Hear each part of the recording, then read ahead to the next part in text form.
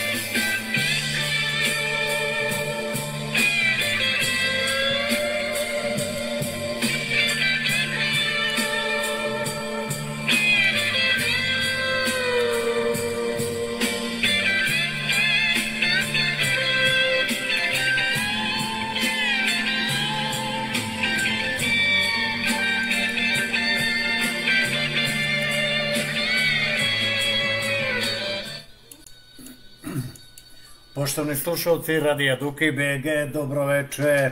20 časova i 49 minuta. Ja se svima vama izvinjavam, naravno posebno se izvinjavam goši večeras koje je planirano da eto na vreme krećemo u 19 časova i 30 minuta, ali eto, problemi sa internetom i sa mnogim drugim stvarima, ali eto, završeno je sve, nadam se da ćemo uspeti do kraja da završimo večerašnje druženje. Evo, večeras ćemo se družiti sa jednom pesnikinjom, književnicom, vrlo poznatom u svetu. Čućete sami, ona će, ja bi prepustio njoj da ona sve sama priča o sebi, ali pre nego što krenemo da upoznamo Sandru Vulin, koji, eto, ljudi koji pišu, uh, mnogi je poznaju i tako da u tim raznim druženjima znaju ko je Sandra Vulin, ali i znaju i oni ljudi koji čitaju njene knjige. Pa evo da čujemo na početku jedno dve pesme e, i krećemo, ovaj, odmah ću Sandru i malo više da porazgovaramo i da je upoznamo. Dobro veče i dobrodošli. Krećemo. gostiju, a naravno još uvijek mlada i najljepša i najbolja Josipa Lisac.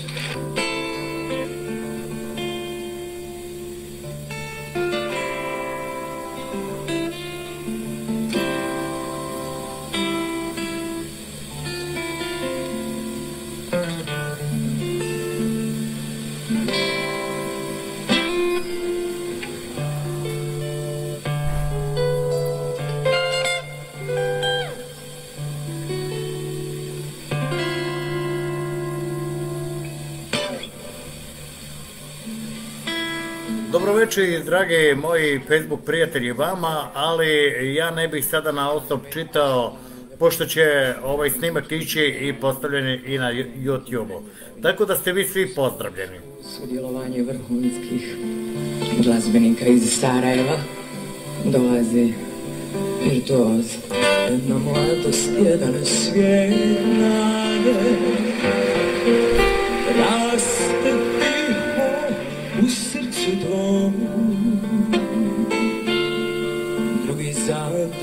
svijet grade, s malo prave istine u tom.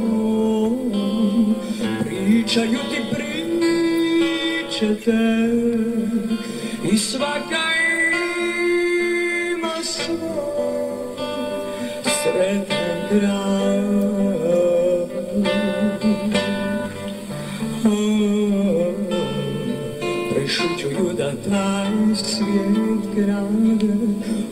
Tvoj sunce sjaj. Jedna mladost, jedan san sreće, a do nje još dalek put. I dok srce na svoj put kreće, u taj svijet svoj žut, odjednom će shvatit sve, kako nigdje nema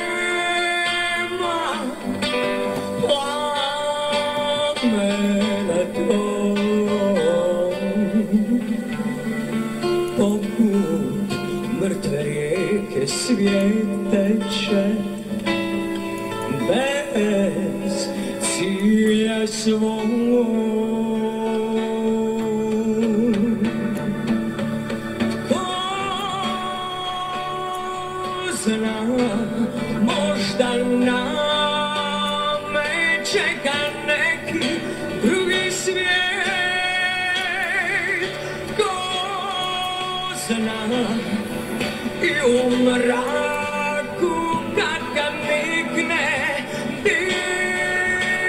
Divan svijet možda ko zna jedna od sretnih jedna od tisuća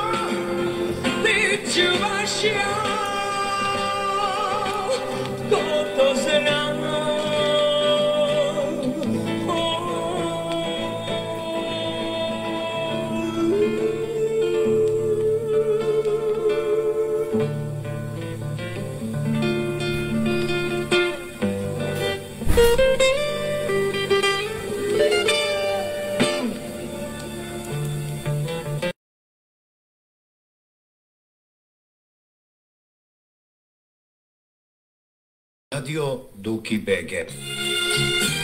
Dragi moji Dukijevci širom sveta koji prate preko Facebooka, ja bih molio da eto podelite ovaj večerašnji snimak jer Sandra Bulin nije tu, ona svako veče sa nama da čita poeziju. Treba da nam bude čast da lepo, pažljivo slušamo. Naravno, bit će tu i neke nagrade. Tako podelite link i pratimo i čućete nešto novo. neka ti snovi donesu jutro neka ti jutro moj poklon da te tri slatke riječi ja te volim nek dan ispune tvoj te tri male riječi ja te volim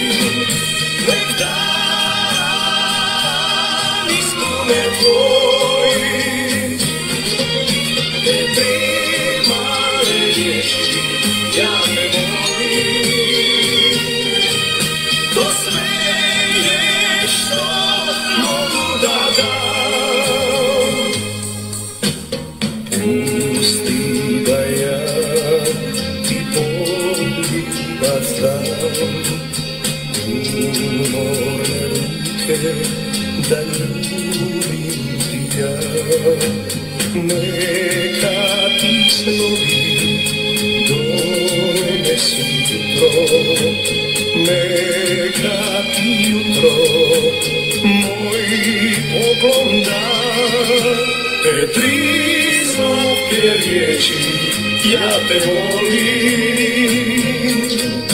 Nek dan ispune tvoj Te tri male riječi ja te volim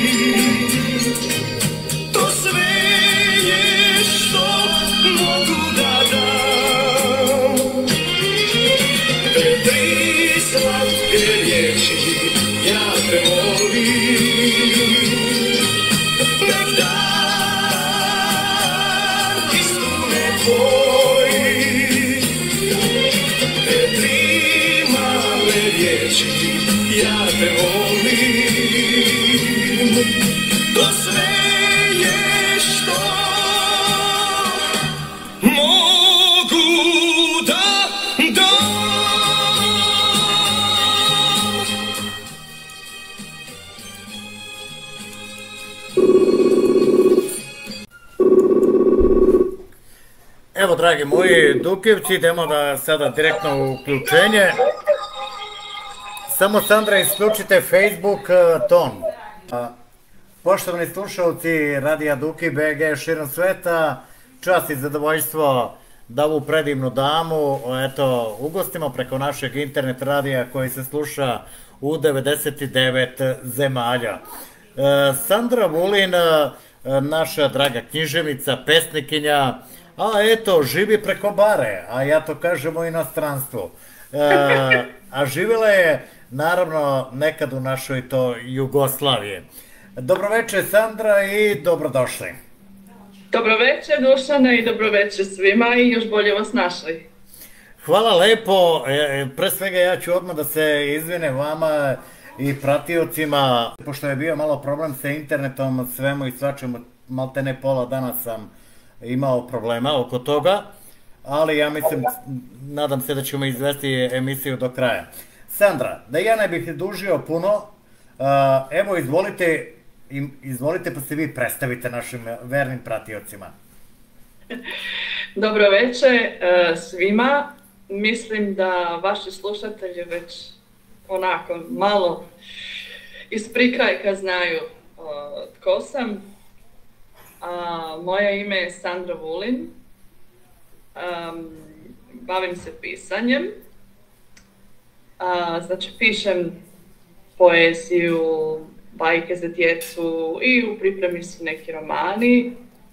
Sad sam počela i da prevodim malo svoje knjige. E, rodom sam iz Hrvatske, točnije iz grada Vukovara. Posvuda me ima, kao što ste rekli, Dušane, trenutno u Njemačkoj, ali posvuda sam bila, znači Rumunija, Švicarska, Njemačka, Hrvatska, posvuda. Um, što bih mogla reći o sebi? Rekli ste mi da govorim malo više, tako da ću poslušati vaš savjet. Pa i treba da, Dakle- i treba da, i treba da govorite vi o sebi da bismo mi znali. Mi ćemo da vidimo kao ja, Sandra Bulin, da, video sam fotografiju, a ne znam ko je. A ne znam ko je, pa vi morate da napišete ispod te fotografije ko je Sandra Bulin. E, kao ja što sada preko radija, uh, već znaju ko je Duki, već znaju sa mojim, uh, uh, zato, eto, ko je izmislio ovaj Facebook nije loše, ali hoću da kažem, na neki način tu obi prodavnice neki put i možete i tu malo da snimite nešto interesantno, Sandra videla, snimila. To je to. A da. E, Pa, s obzirom da je danas tehnologija toliko moderna, sve se može, nešto što se prije nije moglo, sad se može. Znači ovako, sad ćemo se malo uospiriti. Um, rođena sam 7.12. Uh, hladne i davne 84. Barem tako kažu da je bila jedna od hladnijih zima. da, da, da. I Uh, moje djetinstvo je bilo obilježeno, nažalost, uh, stradanjima. Ne mogu da kažem da sam imala sretno djetinstvo, jer sam dijete rastavljenih roditelja, dijete koje je prošlo rat i preživjelo rat, a, dijete koje je prošlo svu bijedu i takav način života me je učinio ovo što sam danas. Da budem zahvalna za sve, da poštujem svakoga i e, jednostavno da budem čovjek. Jer kada e, u najranijoj dobi svojeg života vidiš nečovječnost na dijelu, onda ti to samo pokaže da ti takav ne treba da budeš. Tako da sam jako zahvalna uh, Bogu koji me je postavio na mjesto na kojem sam bila. A svoje djetinjstvo sam provela u jednom malom selu pored Osijeka. Tako da ne. Ste pili Erdutska vina, jako dobra Jeste. bijela graševina. Jedna od poznatijih, znači to je onaj dio tamo blizu Baranji i tako. Znači onda prvo sam, prvo sam bila u Borovu, pa sam onda bila u Erdutu. Tamo sam, kažem, provela svoje djetinstvo koje je bilo vrlo izazovno. E, nakon toga sam a, upisala srednju školu u Osijeku za frizerku. Nakon toga sam nastavila, bila sam jedna od najboljih učenica, nakon toga sam nastavila pravni fakultet koji stjecajem okolnosti nisam završila, stala sam na drugoj godini jer sam se razboljela i doktori su mi rekli ili zdravlje ili diploma, ja sam izabrala zdravlje. Dobila sam tešku anemiju, tako da sam stala s tim. Nisam bila od one djece koja su imala mogućnosti za školovanje uh, koliko god da sam imala možda mozak ili neke druge prilike, ali novac je taj koji pokreće svijet, tako da Pisanje, počela sam pisati negdje u 14. ili 15. godini. S obzirom na djetinstvo, opet se vraćam na to kako sam imala. Prvo sam počela voditi svoj dnevnik. I danas kad nađem svo- svoj dnevnik koji sam tada vodila, mislim si u sebi, Bože dragi, ovo nisam ja pisala, ali dobro je posljedice nekih stvari. Nakon dnevnika krenuli su stihovi sami od sebe i tu su počele pjesme. Prve pjesme objavljivala sam u srednjoškolskom časopisu Frka, tu sam se prvi put pojavila. I onda sam ušla u pjesničko društvo Anton Ivanošić u Osijeku, tako smo se sastajali, izdavali smo zajedničke antologije, Deset godina sam živjela u Osijeku, radila, studirala. Radila sam sve moguće a, poslove osim najstarijeg zanata. sve druge poslove sam radila. Znači u galeriji umjetničkih slika, u knjižnici, a, sve, sve moguće, po restoranima, po kafićima. I to doista iskroji čovjeka, jedno bogato, jednu široku lepezu iskustva. I onda je bilo u Osijeku, čini mi se, 2009. a, jedna večer koja se zvala Panona. Ona je Panona.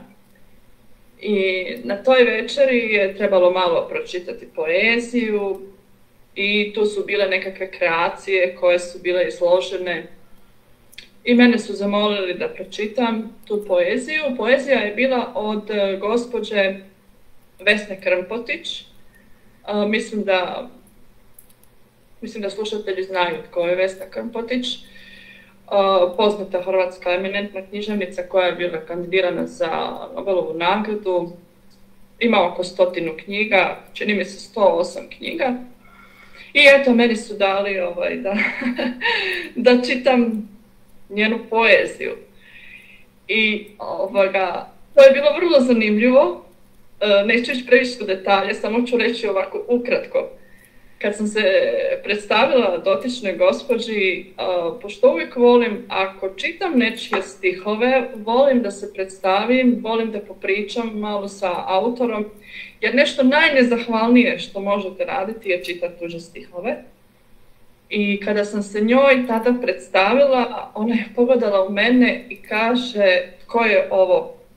I ova jedna ženska tamo što je bila, ona kaže, pa znate, ona čita vaše stihove. Kaže ona, ovo je moja snaha. I sad ja onako mislim, žena, ono, ima temperaturu, ne? I prođe to tako, a ja imala ono obučeno kao egipatski nekakav stil, ono, onaj paž, frizura i tako. Vesna se furala na Egipat. Živjela je ona posvuda u Egiptu, u Indiji, u Americi, tako. Njezin suprug je bio ambasador za tadašnju Republiku Jugoslaviju, pa su eto prošli svijeta. I prošla je ta večer, kako je prošla i a, evo, zamislite, ona je živjela u Beogradu, jel? Tako da ja imam veze sa Beogradom, točnije na Miljakovcu. Ona je živjela na Miljakovcu i kad je, kad je ta večer završila, dva, tri dana iza toga ona mene nazove na telefon i kaže, ajde dođi kod mene u Beograd. Znaš, on, onako otvoreno, ja imam svog sina i hoću da se upoznate.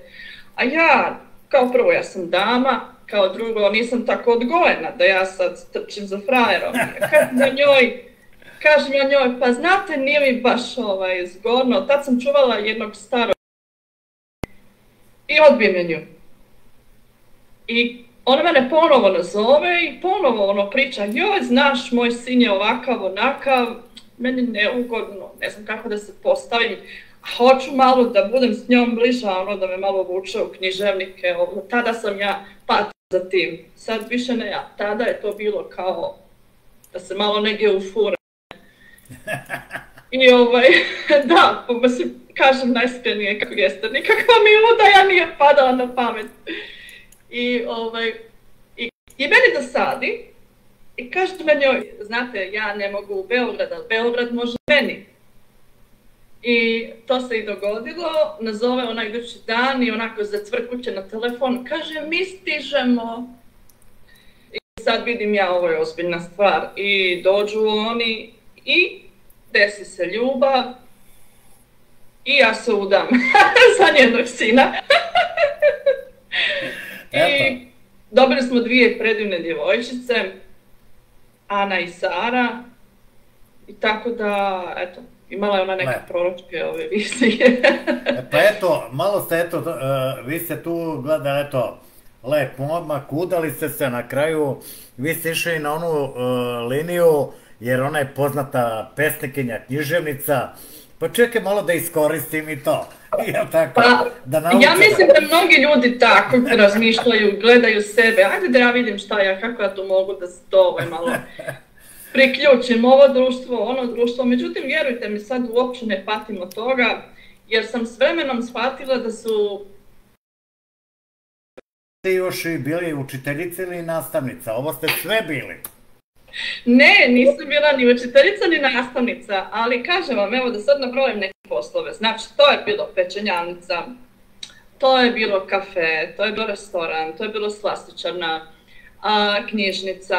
U knjižnici sam bila e, šest mjeseci, galerija sa umjetničkim slikama, tu sam bila tri godine, a, gerijatrija, skrb za stare i bolesne, tu sam bila dvije godine, godinu dana sam čuvala djedicu dok nije čovjek preminuo i nakon toga sam nastavila u domu, bakice su me obožavale, ne znam zašto. ovaj, I tako da, e, lijepo smo se mi to družili.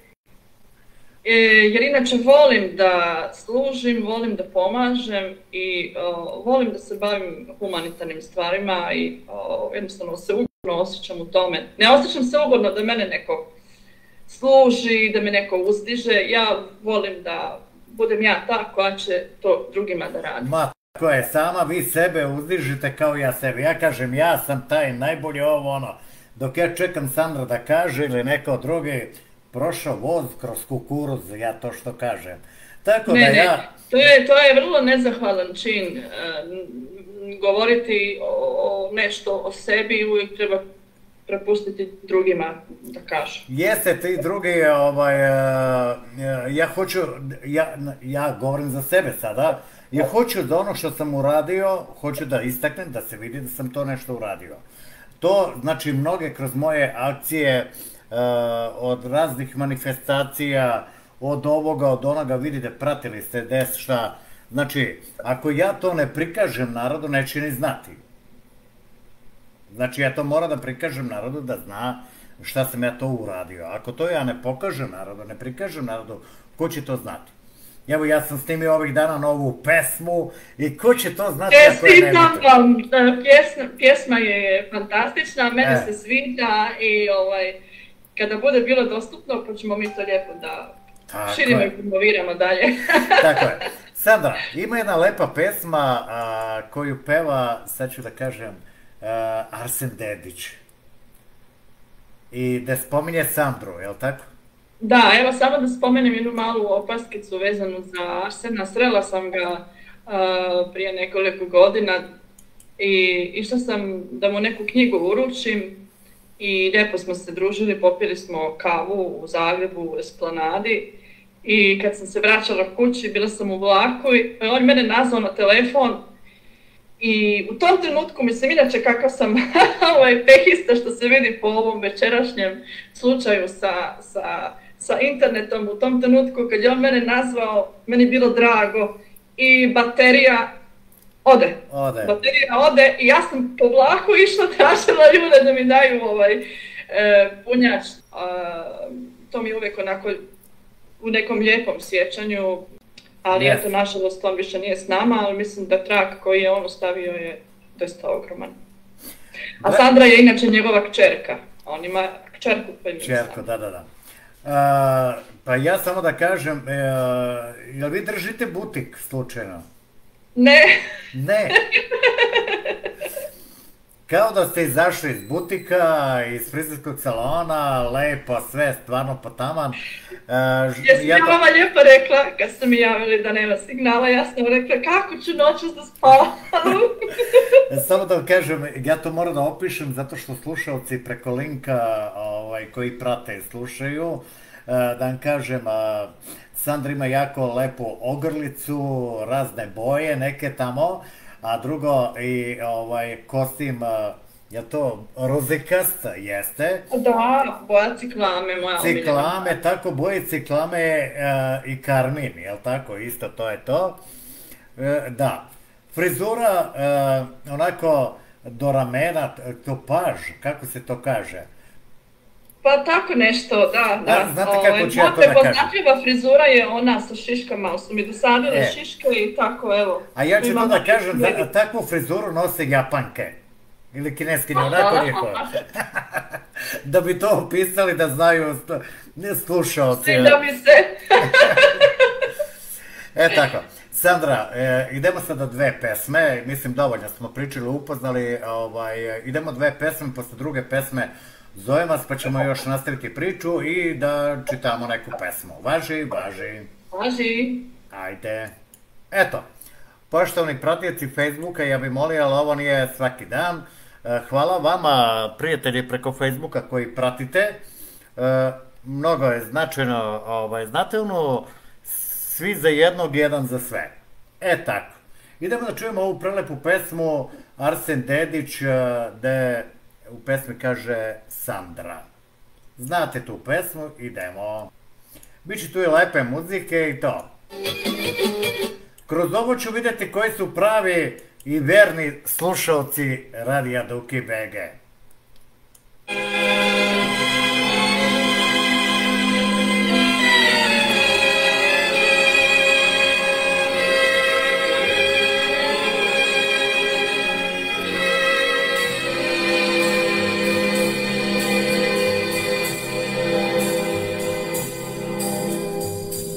Sandra, već mislim često. Sandra, to mi mnogo znači što javi se telefonom kad je kišno večer i slabe vijesti Sandra da tebe nema. O Sandra ti mi mnogo daješ je uvijek. Samo ti ne razumiješ i onih dana kad mi loše krene nisam te volio mnogo ja zaručnik ti nisam brat tek ne mogu putem do stana da ne svratim k tebi na sad Sandra ja drugu ljubim. Al draga bar da ti kažem da mogu da jednom biram svu ljubav svoju? Ja bi takvoj dao Sandra Sandra.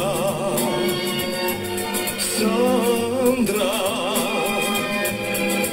Sandra ti znaš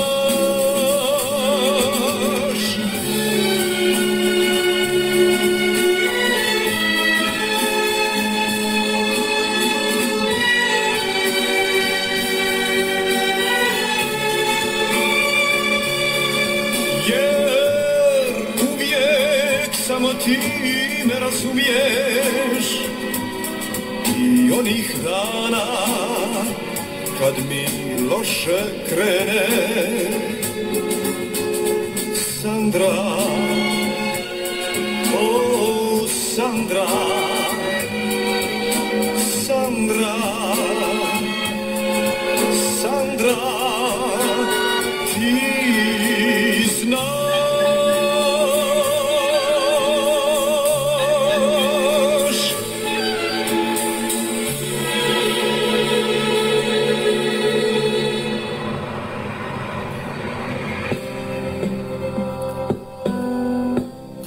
Poštovani prijatelji Radija Duke i BG, evo sa nama je književnica, pesnikinja Sandra Vulin, javlja se iz Nemačke.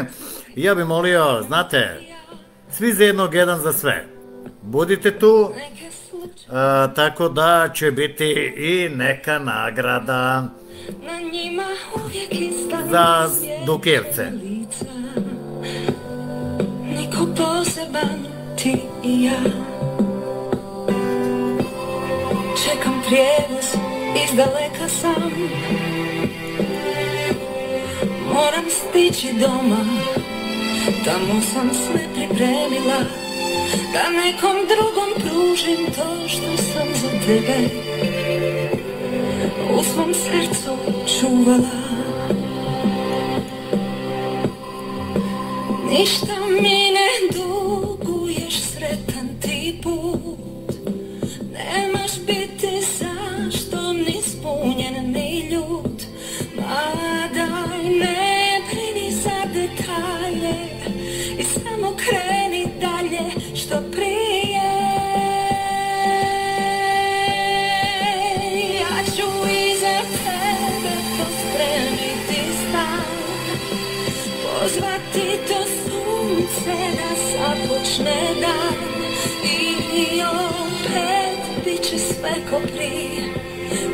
ništa bilo nije Jer nije.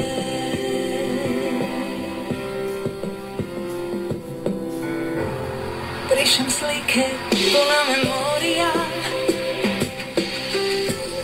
Neke slučajne Valjda je bila prilika Na njima uvijek ista nasmiješena lica. Niko poseban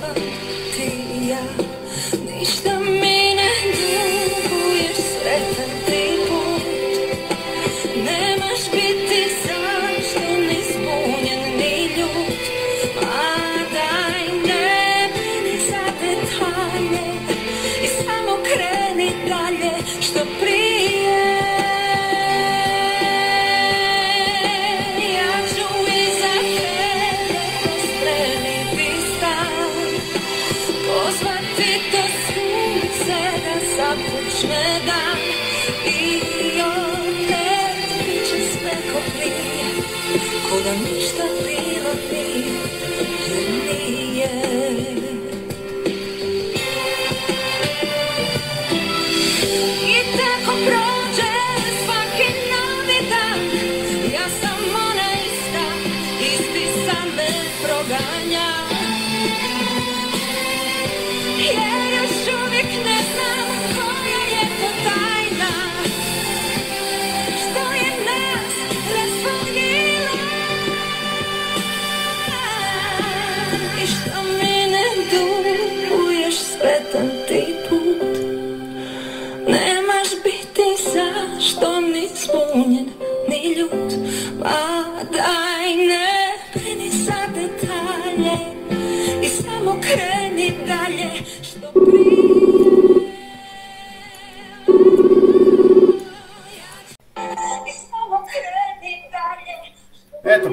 slušalci Radija Duki BG, a veze nam je Sandra Vulin, pesnikinja književnica, e, kažu da rade veze, nadam se da rade veze sada, da završimo samo uspešnu emisiju, ovaj, e, javljamo se iz Nemačke, i evo, dragi moji, e, prijatelji, nastavit ćemo dalje, eto, upoznali smo malo našu Sandru, Sandra, e, ajde, jeste vi prvo počeli da pišete odmah pesme, pesme ili onako ste počeli neku knjigu kao roman, proza ali tako, ja se baš najbolje ne razumem u to, jedino ako bismo zajedno pevali, to je druga priča. E, e, počeli ste neke tako pesme, da, e, znači poezijom, jel tako?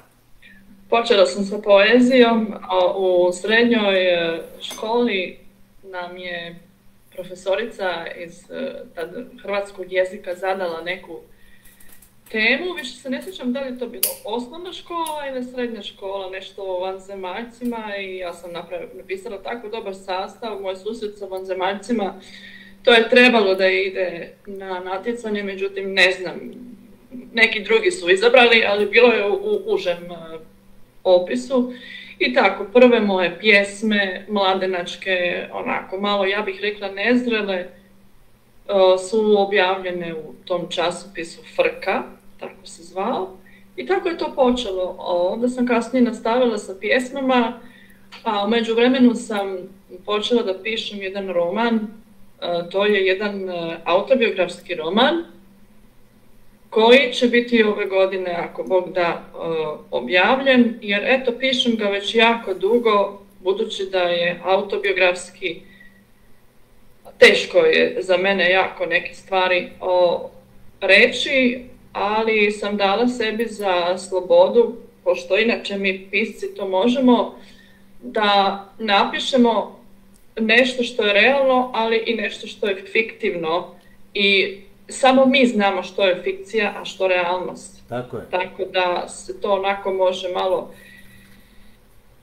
našminkati, zamaskirati, e, to je moje pravo da kažem, jer ako bi cijelu ogoljenu istinu rekla, onda da bi to bilo baš malo možda nezgodno, jer ima nekih dosta intimnih stvari. Međutim, a, ima neke stvari koje sam prošla, uključujući rat, e, uključujući tu socijalnu težinu, odrastanje bez majke, odrastala sam bez, ovaj, bez svoje majke, o, oni su se rastali, moji roditelji, jel? E, kad sam ja imala pet godina, znači od, moje pete godine ja sam živjela bez moje majke i to je ostavilo na meni jedan veliki trag. I silno sam željela da se ostvarim kao majka i Bog mi je dao dvije predivne djevojčice, ali uvijek je ostalo taj jaz u srcu, ta čežnja za majkom, daljina i vrijeme je učinila svoje i među nama se dogodilo nekakav nepremostivi jaz, jedna rupa koju ne može nitko i ništa da popuni. I moje pisanje je meni moja terapija.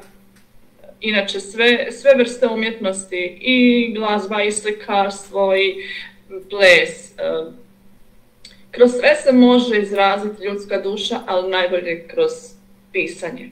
Zato što je pisanje ah, vas tjera da pričate sami sa sobom. To je najteže. Da ostvarite dijalog sami sa sobom, sa svojom dušom. Tako da taj e, autobiografski roman, e, evo reći ću, on se zove Zerdelija. A, vrlo zanimljiv naziv, ne znam da li znate što je Zerdelija. Ne znam. To vam je onaj rod, e, onaj vočka iz roda šljiva, kao ringlo, neki kažu ringlo, O, neki jeste, kažu znam, znam. Mi kažemo ringlov, tako je. ringlo, vrlo kiselo, Kiselo, tako je. Da. E, zašto sam dala taj naziv? Zato što je u mojoj ulici bilo jedno, jedan, jedan grm, drvo, više bih rekla grm zerdelije, i ta zerdelija je bila svjedok e, svih stradanja kroz koje sam prošla i ja i djeca iz moje ulice. I kad su sva ta stradanja završila, jer sve što počne i završi, kao krug koji se otvori, kad se otvori mora kad tada se zatvori i dobar i loš. Dakle, kad se ta loša priča završila, na kraju romana i dalje stoji Zerdelija kao svjedok svih tih događanja. Imam jednu pjesmu koju sam napisala, koja će biti onako prije, prije romana, koja kaže ovako Vruća su ljetna popodneva u mom kraju o, ostala netaknuta. Pokušavam sada iz glave da se sjetim. Sam. Čak i sada, nakon toliko godina, osjećam miris svježe pokušene trave, vrelinu asfalta u podne i kiseli okus zerdelije na koju su se penjala nestišna djeca krišom od svojih roditelja. Tišinu bi ometali cvrčci u, u predvečerje i prigušeni kreket e, žaba. E, sad mi je pa, sad, ne, moram da pročitam, sad mi je ono blokada. Vruće se ljetno popodneva, mom kraju ostala netaknuta i danas osjećam miris zrtelije. Uh, često sam stajala na mostu i gledala sam u daljinu iz mog sela, gledala sam u daljinu promatrajući, promatrajući svjetla nekog dalekog grada, promatrajući slobodu. Ja sam tada mislila da je to sloboda. Mislila sam samo da mi je otići iz ovog sela, da mi je otići negdje, negdje bilo gdje.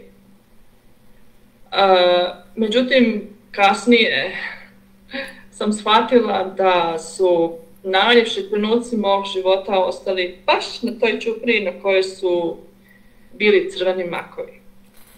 Tako da život me je, mogu reći da se moja želja ostvarila.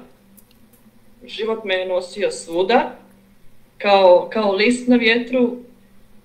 E, imam jednu pjesmu koja se zove Pod mrvicom tuđeg neba. Mogu da je kasnije pročitam. I shvatila sam da u tom traženju sebe, u tom putovanju, lutanju, uh, najviše mi je ostalo upečatljivo uh, ta zerdelija i taj dio mene koji sebično čuvam za sebe, a koji ću izneti u romanu i bit ćete obavješteni kad bude roman. Uh, roman je vrlo težak, ratno-socijalna drama i mm, možete ga čitati, ali bit će zabranjeno plakati. Jeste, ali zato kad budemo čitali tu knjigu, onda ćemo da uzmemo tu taj ringlov, ringlov koji kad mene kažemo da jedemo, plačemo i kiselo nam je. Da, zato jer mi smo govorili Zerdelija, zato što smo mi u, u, u mojem e, kraju, dosta je toga ostalo turcizma. Turcizma, germanizma, dosta stranih riječi smo koristili, tako da, tako da je Zerdelija, eto, turski u stvari izraz, ali evo, znači sad smo i to riješili, enigmu o Zerdeliji. Znači, to je taj roman, pošto ste me pitali da li sam počela da pišem neke romane, i završit ću ga ako Bog da ove godine, a sad sam počela evo prije mjesec dana drugi roman koji se zove Nula sati, Zero Hours, koji će biti isto jako brzo gotov. Nastavit ćemo, nastavit ćemo o tom drugom romanu, nego ajte vi pročitajte jednu neku pesmu nama ili iz glave neku poeziju, jednu, eto. Vrlo rado, hvala, samo sam čekala da me pitate, jer najbolje govorim kroz uh, jezik poezije. E, najbolje, najbolje uspijevam sebe odraziti kroz jezik poezije. Evo kaže ovako, ovaj, e, moja administratorka kaže, e, Sandra peva kroz poeziju. Hvala. Yes. Nives, jel? Tako, Nives, tako da. Da. Samo sam uspio njeno... je još jednom rođendan, valjda sam reći dva puta čestitala i bio je jako dobar parti i žao mi je što nisam bila u blizini da uzmemo neko komadić torte i da malo nazdravimo i da se malo zezemo, ali nadam se da će nadam se da će biti i toga. Evo, Oj. ona kaže ovako, Sandra peva sa svojim glasom, a ne recituje bravo devojko i tako dalje. Vlada također kaže, ovaj, e, evo, pa evo, e, Tetkana, Dušan Keče, evo, sve same pohvale o, o tome, evo, niste čitali još poeziju, ali za sad ovo što ste sve rekli, divno. Pevate, a pevat ćemo na kraju vi i ja. Evo, izvolite, izvolite. Ljubav u jedrima. Sačuvajmo suze od pada. Otplovimo na daleka mora, vjerujući u cvat pupoljka koga dušom zovu. Zaplovimo uz one koji znaju kako vratiti rumenu boju u lice i nebu i zemlji. Moje želje duša prepoznaje i moli sačuvajmo suze od pada. Ranjeni, pa dignuti oprostom, oživimo zajedništva između naših raskoraka. Iako u istom svemiru dva smo svijeta, otplovimo oslobođeni neizvjesnosti i strepnje od vrtloga nemira. Razapnimo naša jedra, ljubav nas zove. Zove nas ljubav, tako je. Sandra, ja hoću, sada ćemo ići sve po jednu pesmu, koju ću ja emitovati ovako malo za slušalce, i odmah posle te jedne pesme idemo brzom brzinom i dalje sa uključenjem i da vas što više predstavimo. Može, evo samo da spomenem, pjesma koju sam pročitala je iz uh, moje zbirke pjesama pod nazivom Radost bezimenih lica i koja se također može naći na Amazonu. E, Ja ću da kažem slušalcima, pra, e, pratiocima Facebooka, e, Sandra će pokloniti neke knjige, poslaće, ali rekla je da treba kontejner jedan veliki da naruči, ovaj, tu će biti knjiga. Tako da, ovaj, problem je samo za taj kontejner koji priprema, a, a knjige su već spremne, da znate samo. E, Knjiga još vruće, još vruće iz tiska. Još se, još E, da znate, dragi moji Dukijevci, ali ja neću reći ovaj, ništa ko će još dobiti. Dobio sam knjige od eh, naše drugarice Tan, Tanja, je li tako? Tanje? Tanja, Tanja Božović, da, E, da, da. Od. Tanje Božović sam dobio, tako da ću sutra reći ko je dobio od vas, jer ja kad završi se emisija, onda malo ću da prošpartam, da vidim ko je sve tu i ostale druge stvari. E tako, onda ću reći ko je dobio knjige od naše Tanje Božović. Sada idemo jednu pesmu i odmah ću vas pozvati. Može? Može, može. Eto, drage moji, poštovani slušalci širom sveta, slušamo, eto, e, gost Radija Duki BG je Sandra Bulin, pesnikinja i književnica. Idemo da čujemo Maksim ovo, ja ne znam, ja nisam uspeo ni da čujem šta je, uh, jer jednostavno sve sam brzi, na brzinu ovo sve pripremio.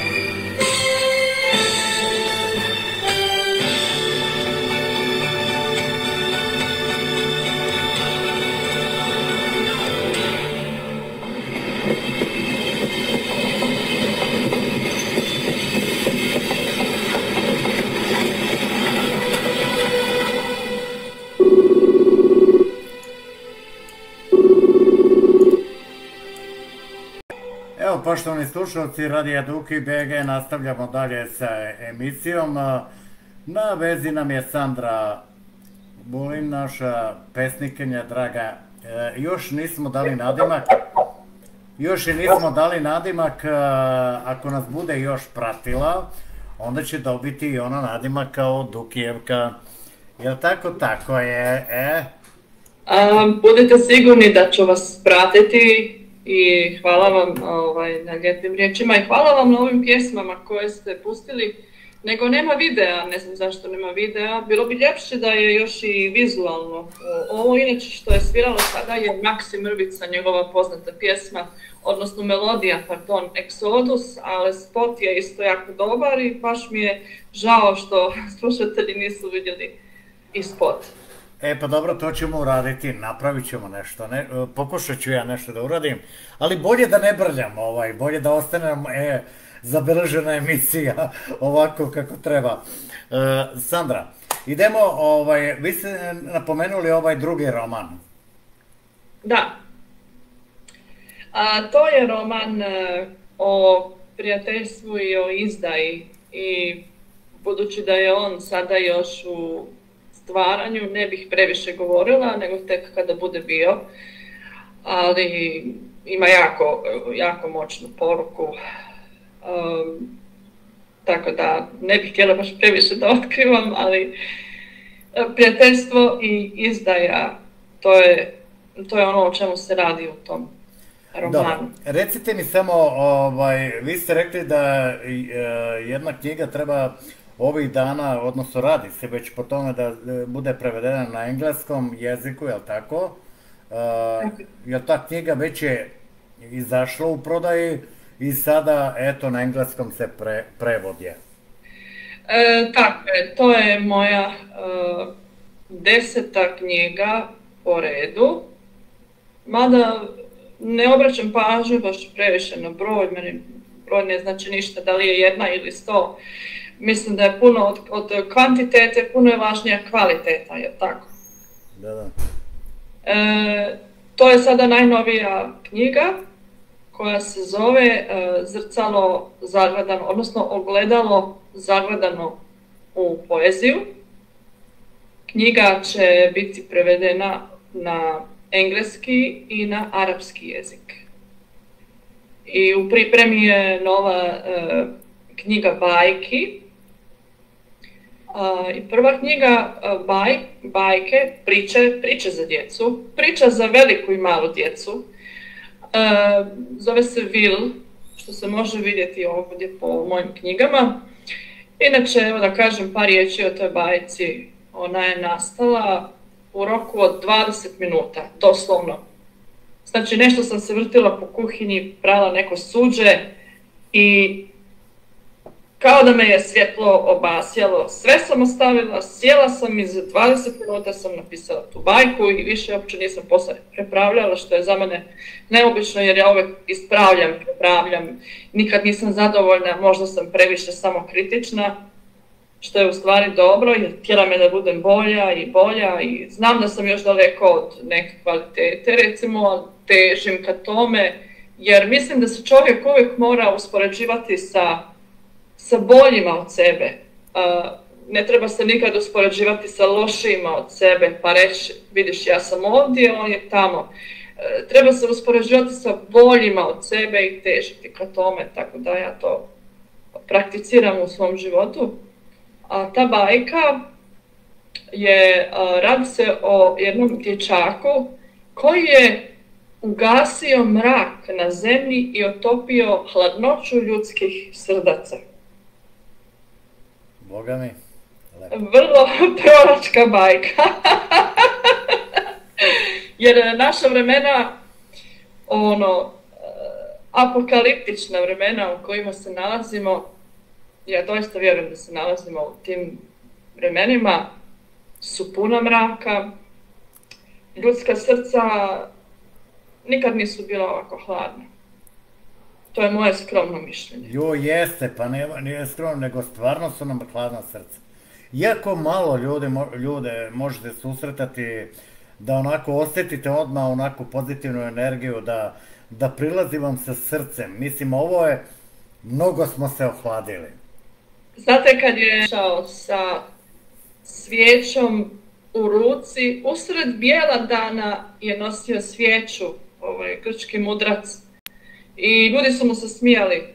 Ha, ha, ha, vidi njega, lud čovjek nosi svijeću usred bijela dana. Pitaju ga, pa dobro, što tražiš s tom svijećom usred bijela dana? Svijeća, van je dan. A on veli, tražim čovjeka. Tako je. Tražim čovjek, tako je. Joj, malo nas je. Ali dobro, moji dukijevci... moji dukijevci e, da se vratim ukratko evo na ovu pričicu, ona je prevedena na engleski i na njemački jezik. Predstavila sam je u Stuttgartu, tada sam živjela u Stuttgartu. E, čini mi se e, e, 2013. godine, čini mi se. Ili 2014. ne pamtim doista o, ovaj datume. Pamtim samo da je bilo tridesetak roditelja sa e, njihovom djecom i taj dan su sve knjige bile prodane. Mislim da to govori samo za sebe. Sve su knjige bile ovaj, sve su knjige kupili i svi su bili zadovoljni. U bajci se radi znači o tom dječaku koji se zove Will.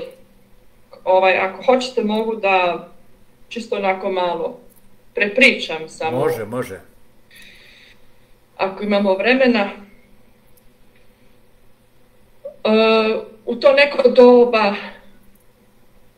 je zemlja postajala hladnija i hladnija.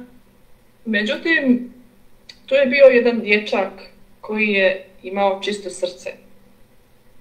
I neki bogovi ili anđeli ili svjetlosna bića, kako god želimo da ih nazovemo, sa planete Antares su gledali što se dešava na planeti Zemlja i odlučili su da nezahvalno čovečanstvo kazne sa glacijalom. Glacijal eh, je stogodišnje vrijeme hladnoće i mraka.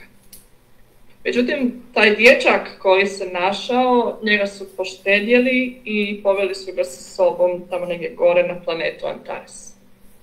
I nakon što je prošlo sto godina mraka i zime i leda na zemlji, anđeli su odlučili da pošalju dječaka natrag na zemlju u svojevrsnu misiju, jer on jedini zna zemljane i znat će kako da ugasi taj mrak.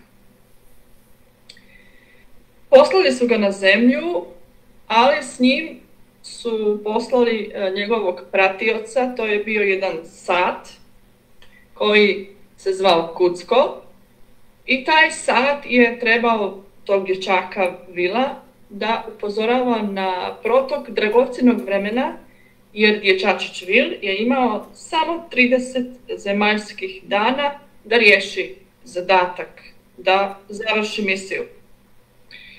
I u knjizi slijedi, slijede njihovi susreti sa ljudima iščašenima, osakačenima, znači duhovno osakačenima, iskrivljenih slika o životu, o svemu.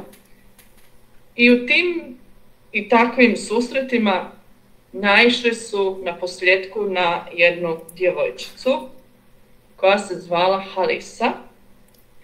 Halisa, inače na arapskom, e, znači pomagačica svjetla.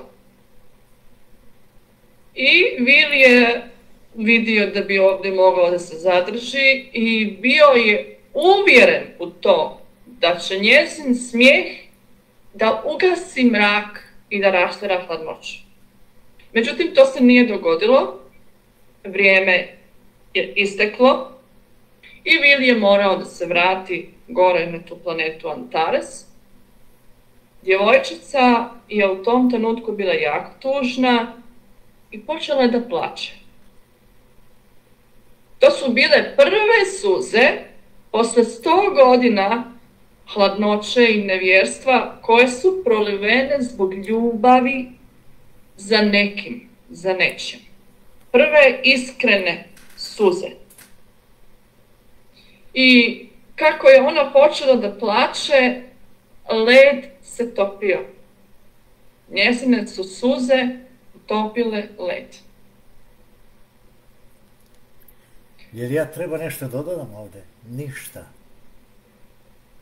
Ovo I bajka se- završava, bajka završava tako da je Halisa porasla u djevojku, da se u ženu, da se udala, osnovala svoju obitelj i na kraju bajke ona kao baka prepričava tu priču svojim unučićima.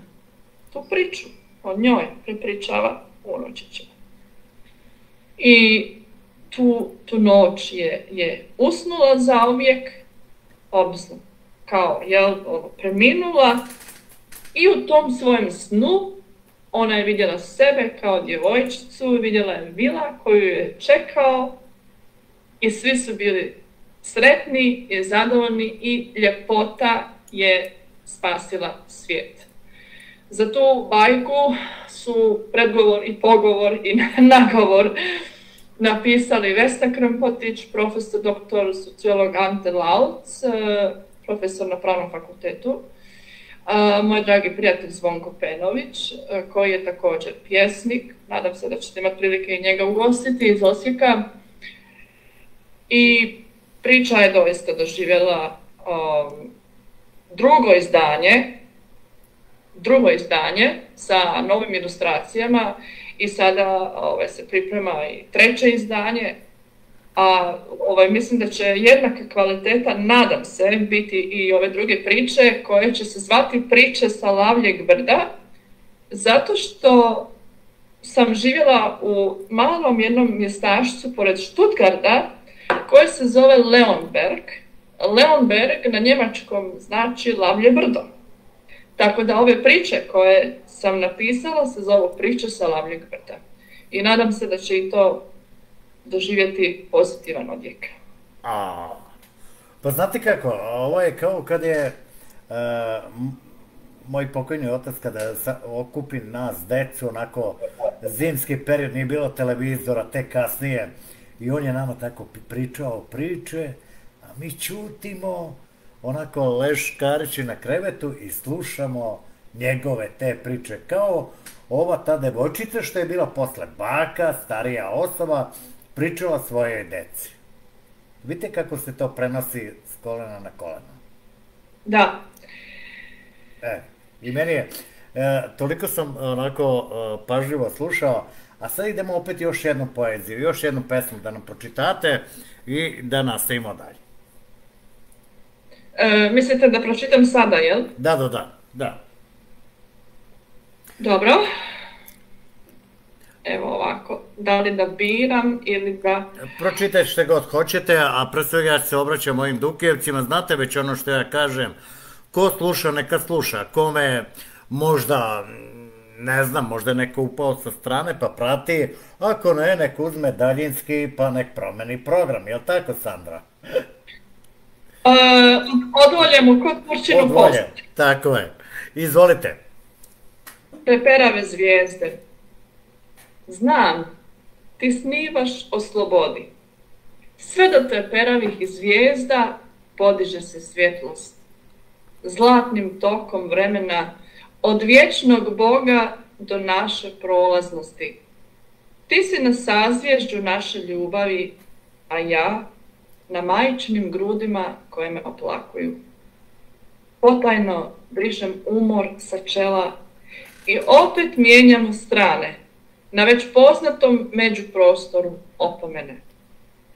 Ti snivaš o vječnoj ljubavi, kao da ne znaš da leptirica umire odmah nakon što se rodi.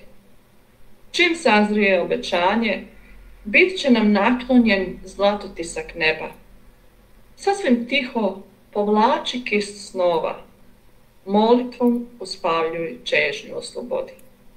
Snivaj, jer jedino tako možeš postati svemir. Pruži mi ruku, u tvojoj blizini, začuđena promjenom, i sama vidim treperave zvijezde. Bravo.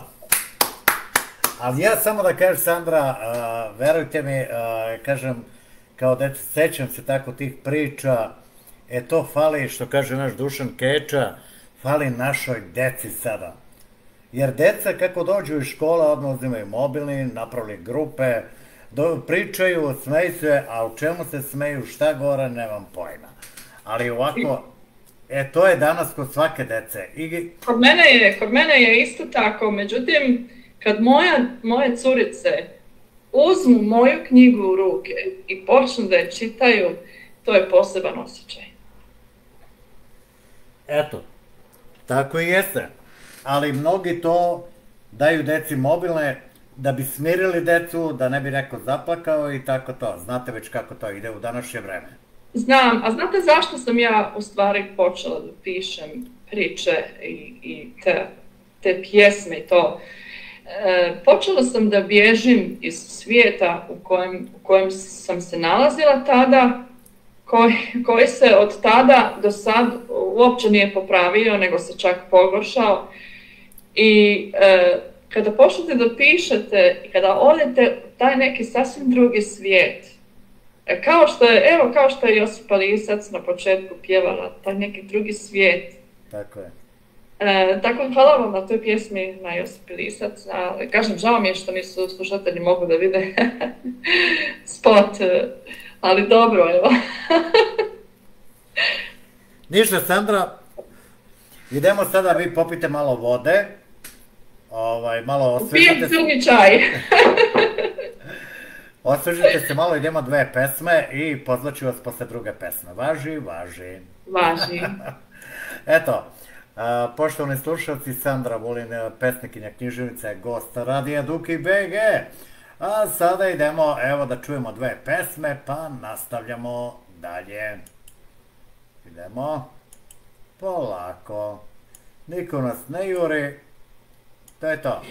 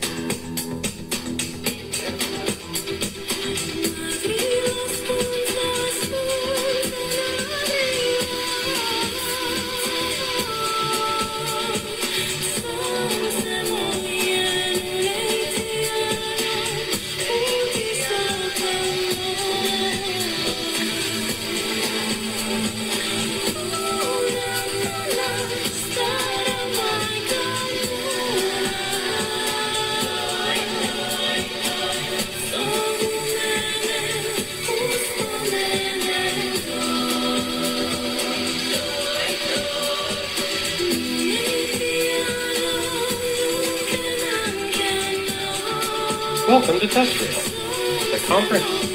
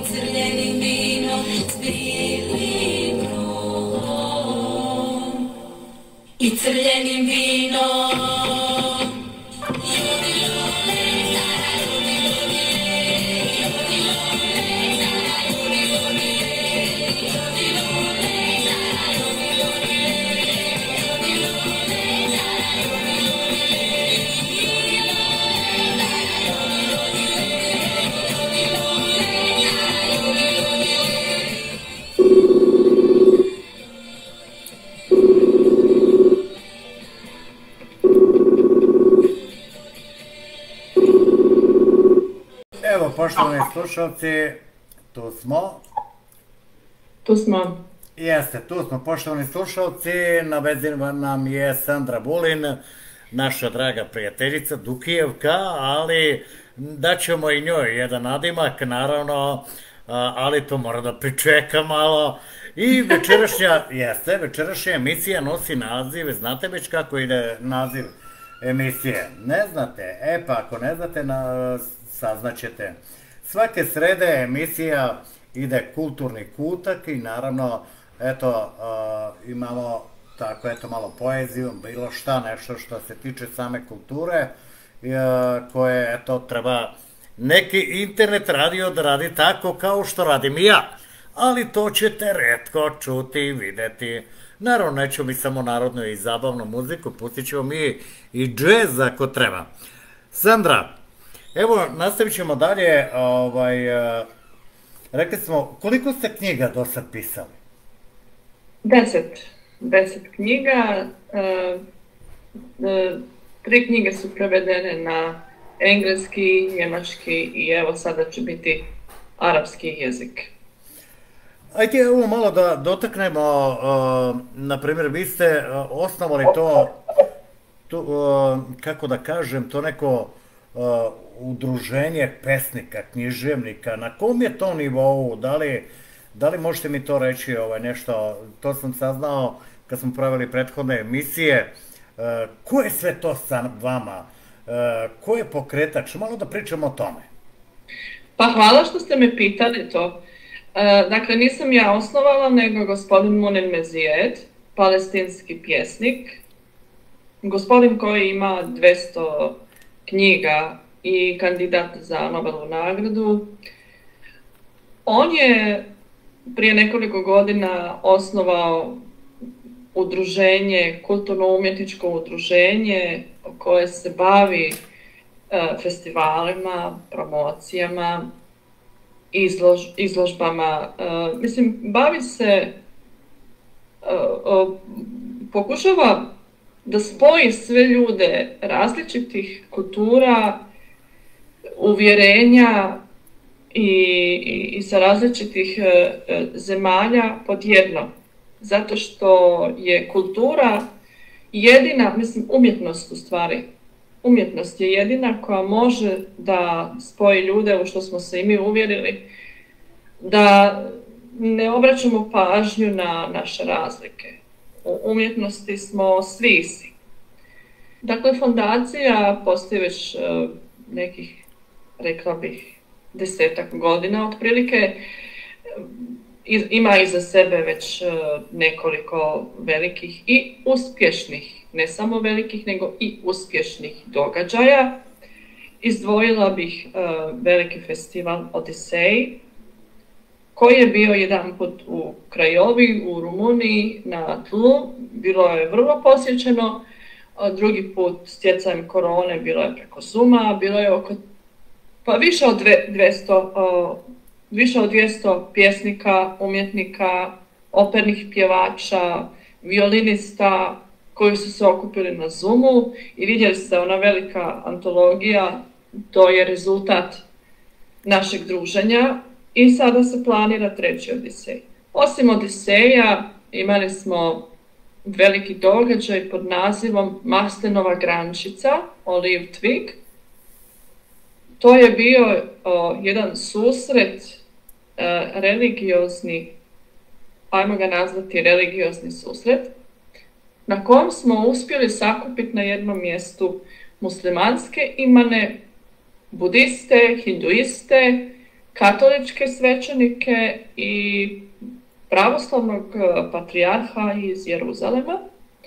I to je doista bio jedan zanimljiv i rekla bih ozbiljan susret u kojem smo svi govorili naše stajalište, našu viziju Boga i onoga što Bog treba da predstavlja u našem životu i vjerovali ili ne, nitko se nije posvađao. Dobro, to se dešava, ali eto, vidite kako to lepo, ovaj, eto, znači bilo vam je lepo druženje i upoznali ste mnoge i pesnike, književnike i mnoge druge ovaj, koji nisu pesnici, ali eto, u toj samoj organizaciji su tu sa vama. Koliko otprilike broji to članova, kako to vi vodite računa o, o tim ljudima koji su, eto, u tom udruženju? Pa za sada nemamo e, članove, otvoreno je. To je jedno otvoreno područje za svakoga tko želi da sebe pokaže i predstavi, ima priliku, može to da učini kod nas. Znači, ako želi da objavi knjigu, može preko nas. Knjiga će njegova biti na Amazonu, postavljena, bit će promovirana i bit će dostojno predstavljena. Ako netko želi možda da ima intervju, bit će postavljeno na YouTube-u, imamo svoju YouTube stranicu koju mogu nakon ove emisije da stavim link uh, ispod, ispod ovog našeg showa večeras, tako da slušatelji mogu da poprate i zaprate i da vide što smo mi to sve u stvari radili svo ovo vrijeme, ali uh, Munirova, Munirovo udruženje ima jednu malu ekipicu koja se zove Zlatni tim, Golden team, nekolicina nas, možda dvadesetak, koji, koji se zalažemo, koji radimo, pripremamo sve te susrete, promocije. Guneš je bio tu, Anisija, oni su također članovi Zlatnog tima. E, Guneš je bio za, za- zastupan za večer, romsku večer i tako svatko uvijek ima neki svoj zadatak, mada to nije zadatak, to je više jedno lijepo druženje. E, sad ja moram da pitam, a gde ćete mene u koju grupu ubaciti kao promotera? A vi ste naš medijski partner. E, bravo, pa eto, eto pravi naziv. Jeste.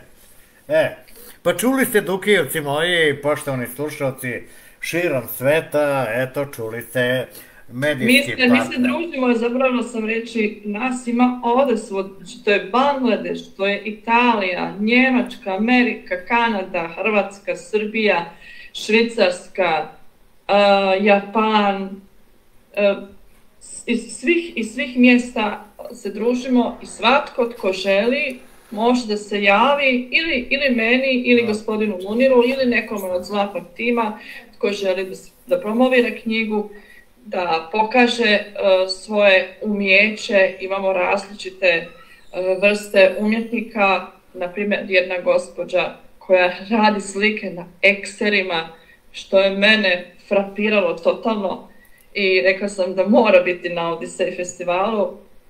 Tako da mislim da biste se baš iznenadili kako ima lijepih uh, ljudi i, i kako ti ljudi uh, funkcioniraju kroz umjetnost i kako se svi zajedno uh, družimo. Mogu čak da kažem jednom riječju da slavimo ljubav. Slavimo ljubav i prijateljstvo. Festival ljubavi i prijateljstva. Nešto slično kao ovo što vi pripremate. Festival ljubavi i prijateljstva.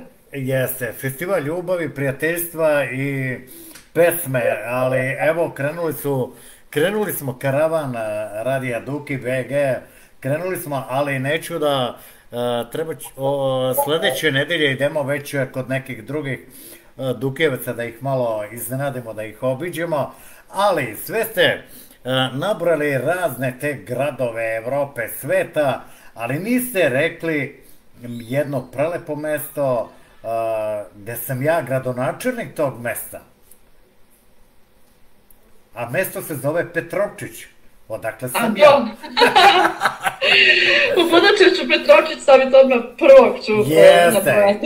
tako, da, tako da ćete sada biti, sada ste u potpuni ovako, krnjavo je sve to bilo. E sad je taj krug napravljen, ispunjen, e, eto ušao u tu grupu i Petrovčić, na čelu sa gradonačelnikom, ovaj, tako da zna se ko je. Vjerujte mi, ako me put nanese, evo mene k vama na festivalu.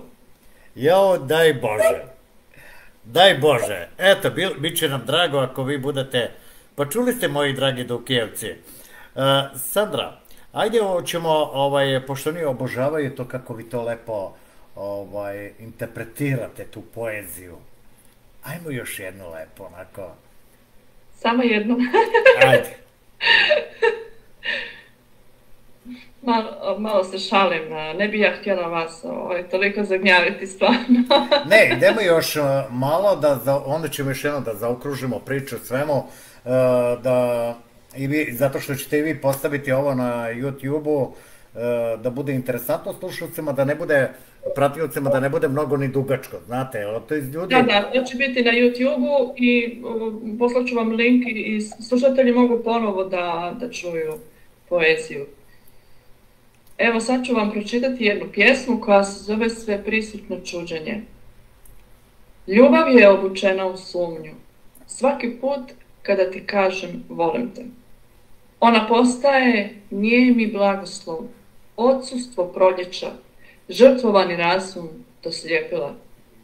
Protivno svim uvjerenjima, postajem bolesnik bez pravog povoda, odaslana strijela prema nepoznatom smjeru i svim vremenima bez ljubavi, bez nas. Kada ti kažem volim te, tada znaj, učim se mudrosti koje su se moje riječi odrekle, prije nego što sam ih izgovorila na glas. A kada pomislim da i ti voliš mene, daleki svemir ljepote na mojem se licu ogleda. Ljubav postaje srce iscrtano na zamagljenom prozoru našeg zajedništva. Drhtaj dviju sjena u noći slatkog okusa i gorčine jutra. Zaobilazim svoj ponos dok se dok uranjem u tebe i u toj potrebi da ti kažem volim te.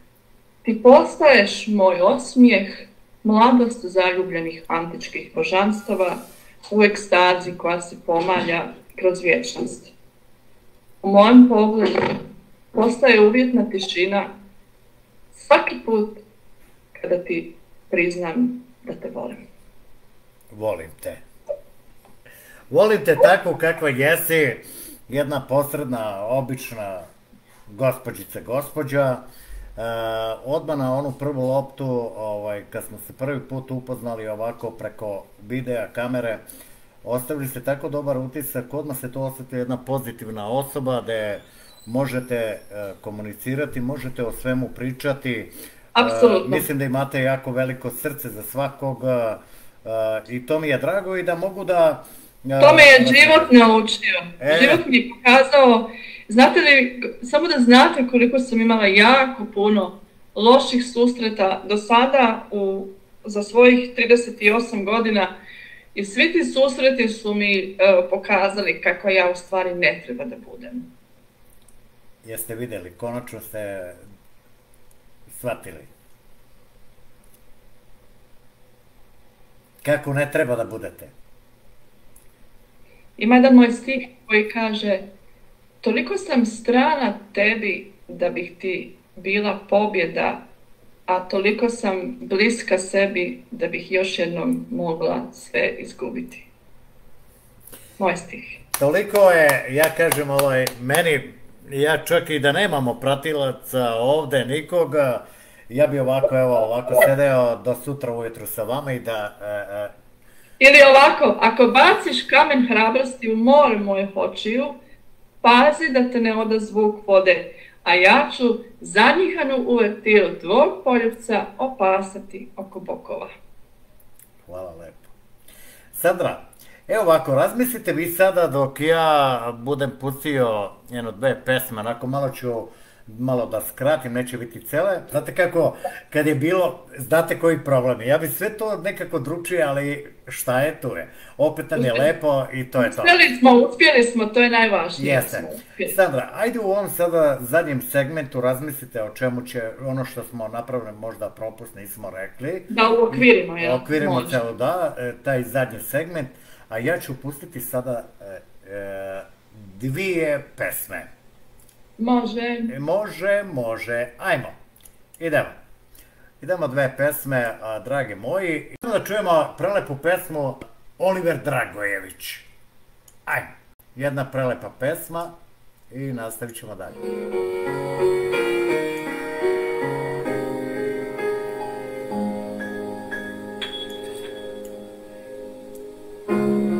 Gdje li si se do sad skrivala negdje si uživala. Kad god došla, dobro došla mi Jer jedno za drugo Mi smo stvoreni. Ja odavno nikog ne ljubim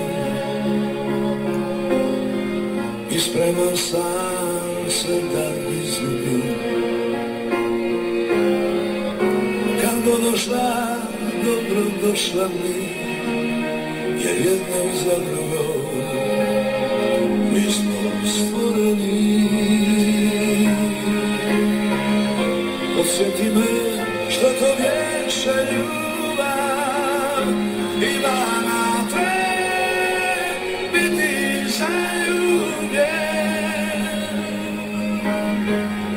Što to bješe, što to bješe ljubav,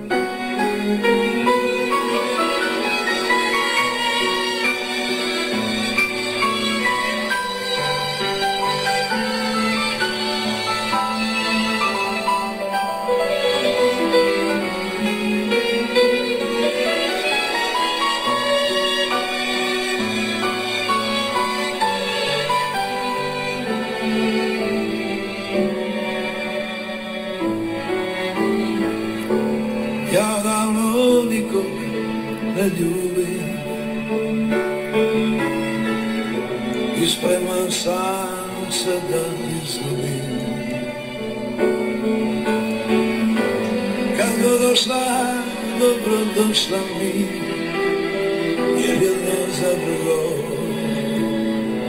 Mi smo stvoreni Podsjeti me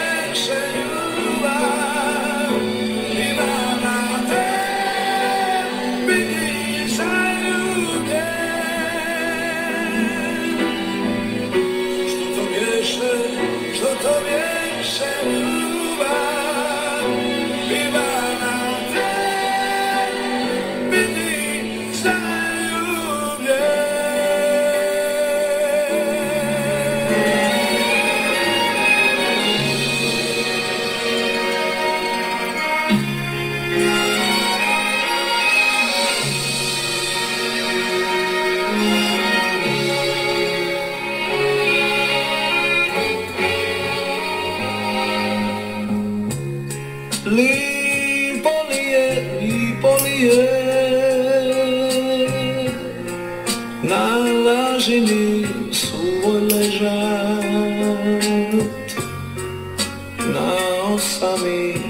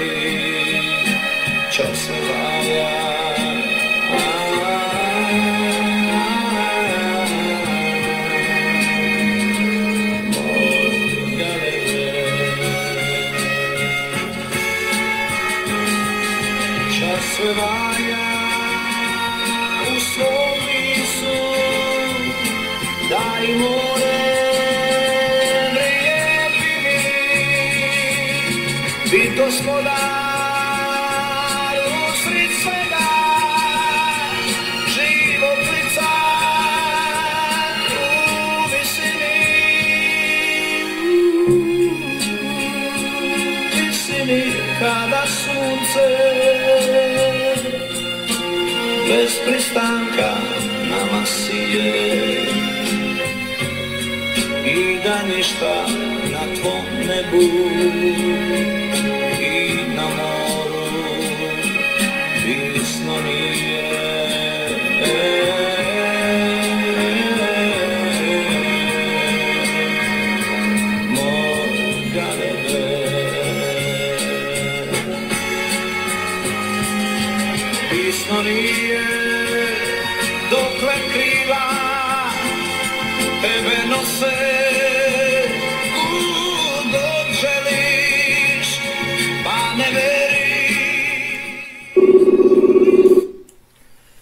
Evo, dragi moji, da nastavimo dalje e, sa pričom. Na vezi nam je Poštovani slušalci Radija Duki BG, evo zadnji segment, e, ali to ne znači da mi nećemo dalje se družiti, emitovati lepe pesme na talasima Duki BG, a naravno posebno pružiti priliku pesnicima, književnicima, likovnim, e, eto, stvaraocima i ostalima, tako u emisiji Kulturni kutak e, koje se emituje svake srede e, na, preko internet radija Duki BG.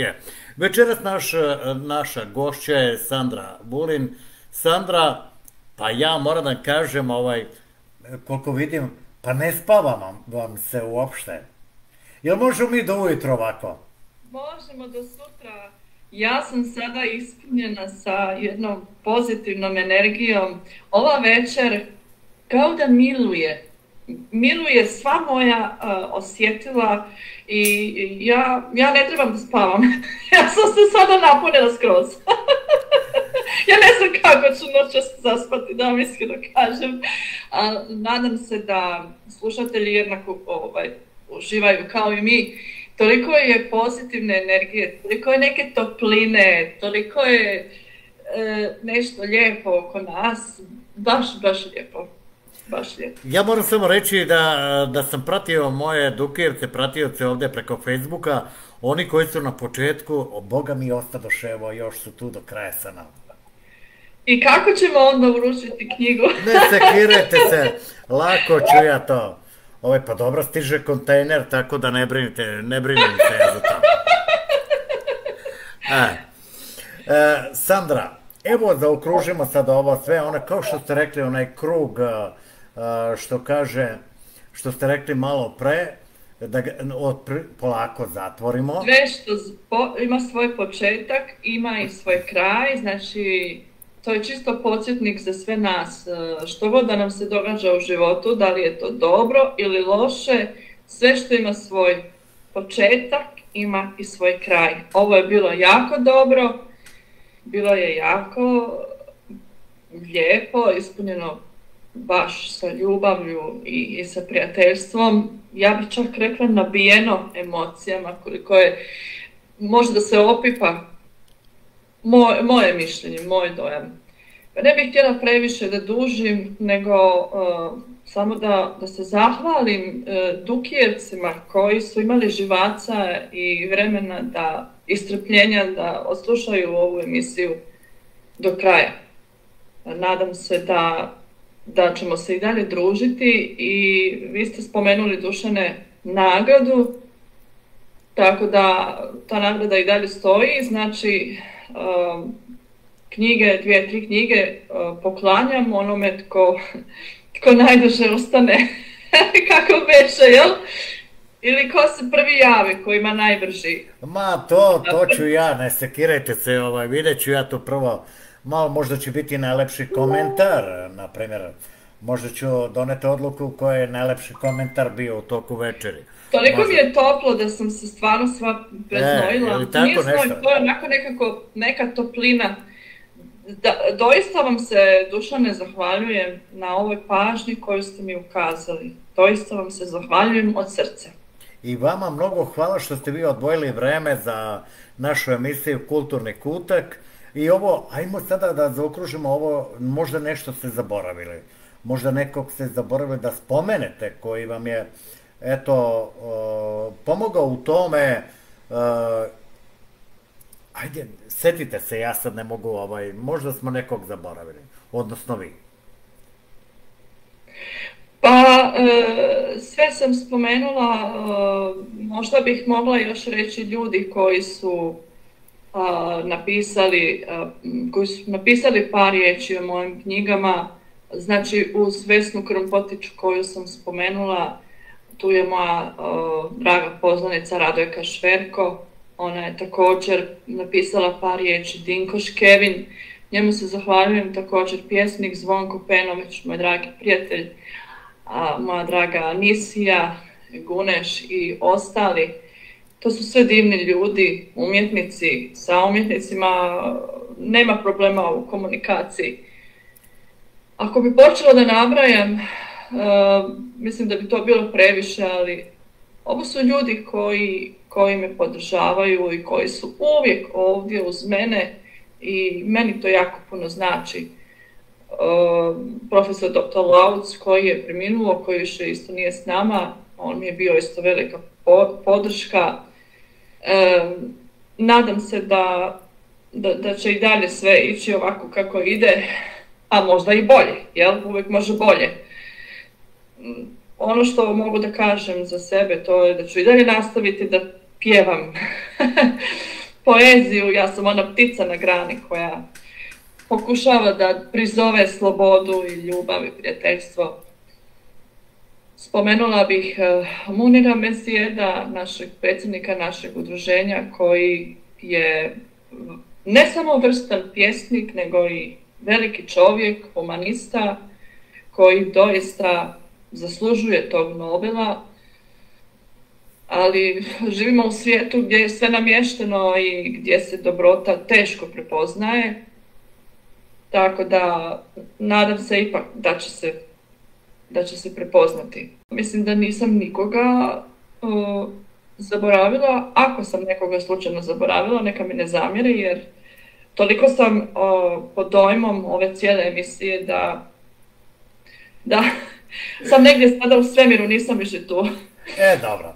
E sad, na- e, ono na početku što sam ja rekao, sad ćemo mi da, da malo upoznamo slušalce, sad nema to veze, ne, nismo, mi- nisam ja Pavarotti ili ne znam, a, ili vi Bakočević kao operska pevačica, mi smo obični ljudi, idemo jednu pjesmu, pesmu da otpevamo, otpjevamo, onako jednu, jednu strofu da otpevamo zajedno, ako ja ne znam, vi znate, otpevamo onako refren ili strofu, onako kratko i da završimo, jer smatram da će tako biti jedan divan video na kraju sa vašom pesmom, koju ćete vi nama sada pevati.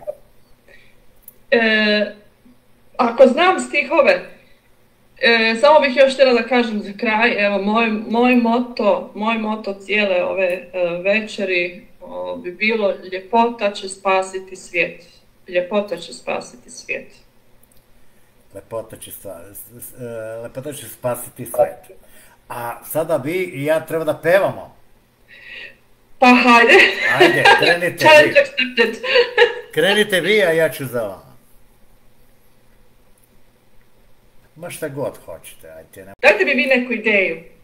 Pa ne mogu ja sada, ne znam, a, a, ja sam sada pod dojmom svemu ovoga, tako da ne znam, ovaj...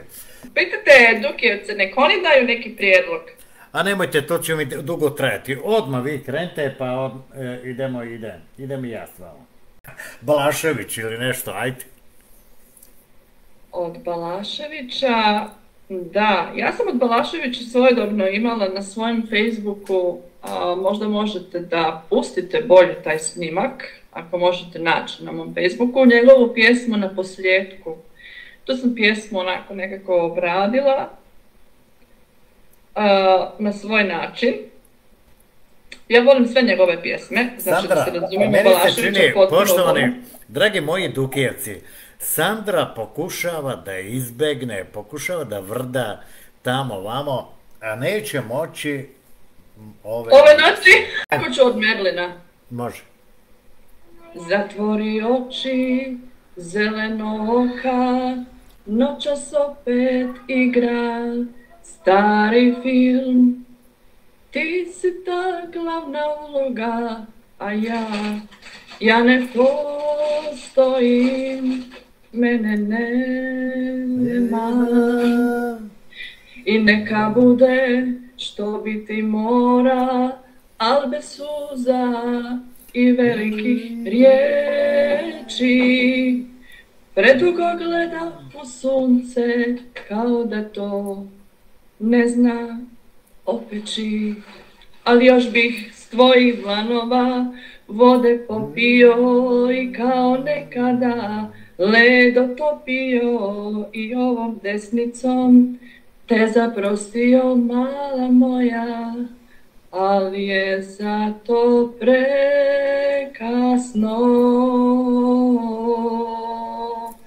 Nemam ja onih osamnaest godina, ni mač u grudima, da bih opet sve iz početka nemam ja milion sudbina, pa zar nije dovoljna ova jedna tako vjerna.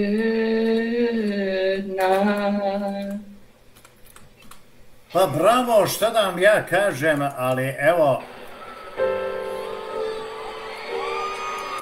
Odlično!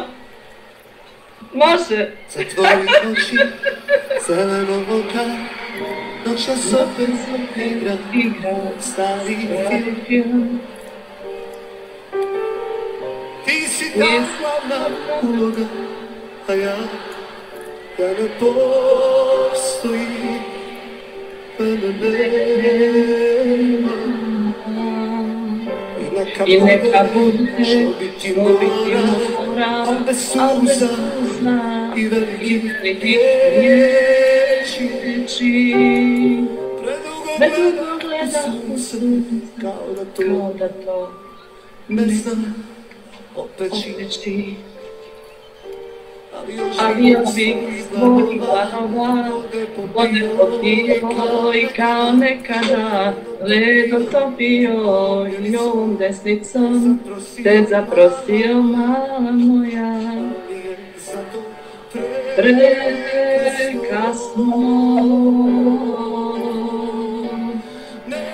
Nemam ja onih osamnaest godina ni mačku grudima da bih opet sve iz početka. Nemam ja Milion sudbina, pa zar nije dovoljna ova jedna tako bijedna? za sve dupjerce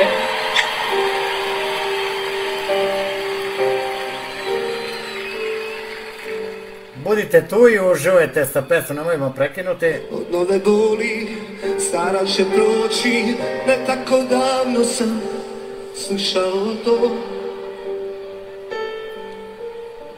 Jedno su samo puste riječi, a drugo se kruni u srcu mom. La la la la, la la la la. Ajmo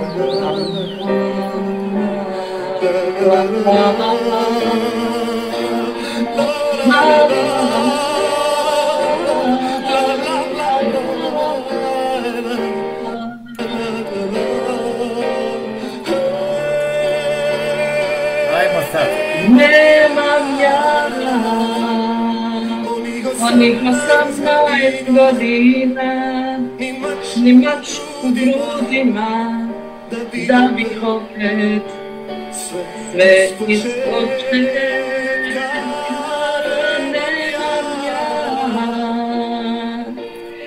nemam ja milion sudbina pa zar nije dovoljna ova jedna tako vjerna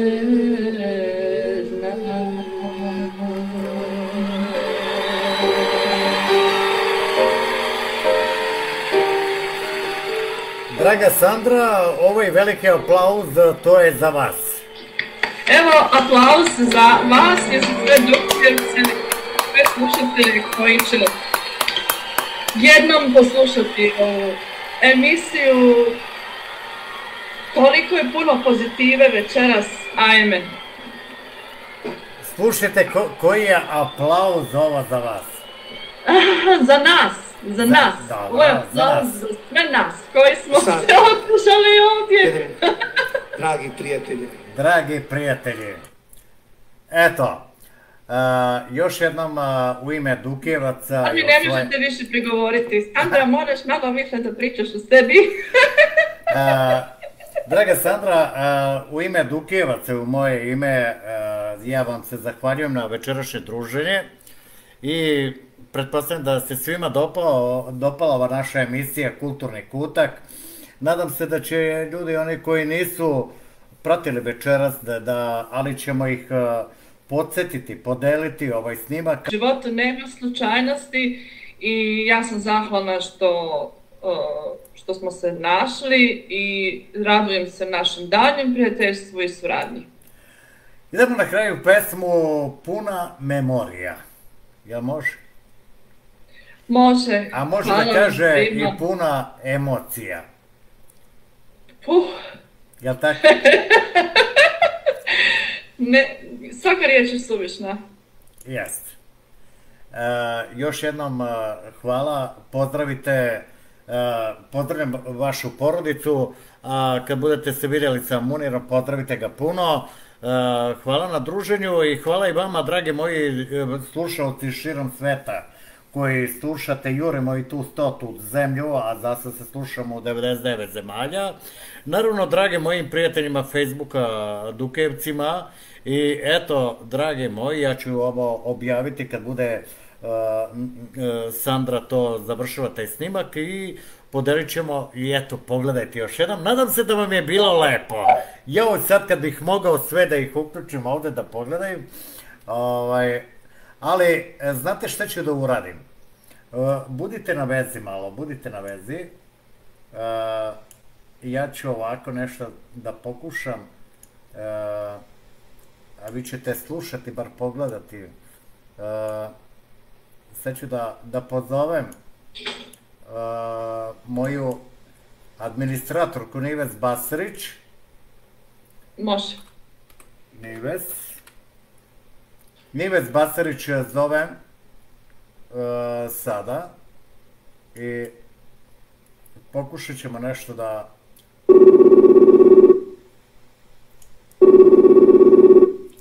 Nadam se da će ono da se javi. Nive se javi se na, na kratko. Uh, e tako, može i tako, nije problem. Ovaj, uh, Dobroveče, uh, draga Nives. Uh, uh, još jednom u ime Dukejevaca srećan rođendan. Evo, u ime Dukejevaca, a ja to volim da neko se ipak zahvali naše gošće. Ipak si ti šef parade ovde nešto. Da, da, da, dobro večer. Ja tamo pišem poruku, ovoga, jako sam pod utiskom Sandre. Od početka pratim ovo veče i, i zaista ne znam šta, šta bi rekla. Mlada devojka koja je, mislim devojka kažem zato što moja Milica je 88. godište, ali razbiram svugde negde kako je uspela da se snađe tako brzo u, u, u životu, da, da sve to piše, pa sam je onda skužila negde da je, da je, da je svoju priču životnu stvari kroz te pesme ovoga prenela. Pa vidim dosta, e, dosta svemir spominje, pa postavila sam joj jedno pitanje tamo, ja se nadam da, da će mi odgovoriti na, na to pitanje. I tako, baš sam pod utiskom, eto. I, i jako teško je sad bilo šta reći, ona je prepametna devojka, nema šta da se priča. Jako je teško sad naći prave reči pa, pa reći nešto što je, što bi bilo za nju dovoljno dobro, eto. E, hvala ti na kratkom uključenju da eto u ime Dukejevaca da se zahvalimo. E, Sandra, mislim da nam je bilo prelepo večer. A, Bilo je prelepo, toliko je emocija prenela, toliko je mira prenela i eto, ja bih je zamolila onu pesmu a, Volim te, da ona to još jednom ili je negde napiše ili ne znam ti nija. A, Ne da je nisam skužila dobro, nego prosto svaka reč joj ima težinu određenu koju, koju a, nisi mogao iz, iz njenog čitanja odmah sve u mozak staviti i, i smestiti, tako da bih ja zamolila, eto, ako može još jednom, ili da je pročita, ili da je napiše, nebitno, a, htela bih tu, tu ovoga pesmu baš onako podrobnije malo da je. Ništa, napisat će ona to pa će objaviti, volim te. Uglavnom, divna je, nemam reči, e, želim joj još više uspeha, e, mislim da, da je postigla vrhunac u svom životu, ali pošto ima dobar vetar u leđa, neka samo tera dalje i svaka je čast. Hvala lepo. Prijetno. Znači, hvala na uključenju, prijetno. Prijetno. Eto, dragi moji, eto, zahvalili smo se našoj e, drugarici. E, ja bi samo da ponovim ovu pesmu još jednom na kraju. Ovaj, e, Sandra. Još jednom ćemo Sandru. Evo da čujemo još jednom Sandru i da kažemo samo, e, da je kažemo i laku noć. Ništa, Sandra, nisam mogao da smo u kamere dve spojili, to bi se moglo. Evo, čuli ste, ja vam od srca još jednom zahvaljujem e, na svemu i da vam poželim laku noć, a ja ću, kad se završi emisija, ko zna kad ću zaspati, ali ja sada moram da pogledam ko je šta pisao ovde. Čula sam sve, hvala draga Nives, hvala vam od srca. E, Da, nisam vidjela pitanje o svemiru, ne znam što ste me pitali, ali Ja o, inače vjerujem u Boga, vjernik sam, svemir koristim u svojim pjesmama kako bih opisala stanje, nekakvo stanje nečega, zato koristim svemir, ali da se ne bi krivo shvatilo, e, vjernik sam i vjerujem u Boga i vjera me je i održala. E, tako je treba. Naknadno ću pogledati sve komentare ukoliko netko ima pitanja, odgovorit ću. Hvala vam svima na lijepim riječima, e, puno mi to znači. Um, Hvala vam, zaista mi je bilo lijepo, nadam se da vas nisam previše zagnjavila. Ne znam, čini mi se da ova emisija dugo traje. Meni se, meni se, evo ja sam poplavio čak ovaj. A, ne šali se, mislim. a, Malo smo se izgubili u, u vremenu, e, Ma- nismo, nismo u ovih, koliko, ko- koliko traje ova emisija? Ne- ne- Nismo uopće bili na zemlji. Evo 23 sata je, pa ja nemam pojma, vidjet ćemo po snimku koliko traje. E, e, hvala puno, ali ćete napisati onu pesmu e, Volim te, pa objavite onako, eto malo da, da pročitamo još jednom. Svako dobro i evo ide pesma, kako ono beše, Utisak. Svako dobro i od mene i još jednom srdačan pozdrav svima i laka noć i dobro jutro. E, tako je. Prijatno, hvala. Prijatno. Idemo, dragi moji, da čujemo ovo na kraju, ovaj, e, e, e, puna memorija, da čujemo ovu o, stvar i dragi moji Dukijevci, hvala vam na pažnji, hvala poštovani slušalci koji slušate preko linka, hvala i vama koji ste eto pratili sve do 23 sata, kasnili smo večera sa emisijom, ali eto bio je boga mi veliki razlog i mogli smo čak i da nemamo, ali dobro je. Sve svemo, evo da čujemo ovu pesmicu i želim vam laku noć. Hvala lepo. Tako, slušajte Radio Duki BG. Niko poseban ti i ja Čekam prijevoz, izdaleka sam. Moram stići doma Tamo sam sve pripremila. Da nekom drugom pružim to što sam za tebe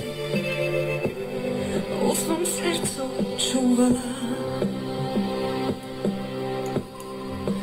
Ništa mi ne duguješ sretan ti put. Nemaš biti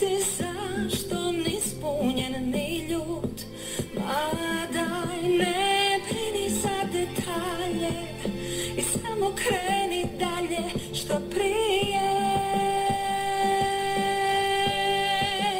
Ja ću iza tebe pospremiti stan Pozvati to sunce da započne dan. I opet bit će sve ko prije Ko ništa bilo nije Jer nije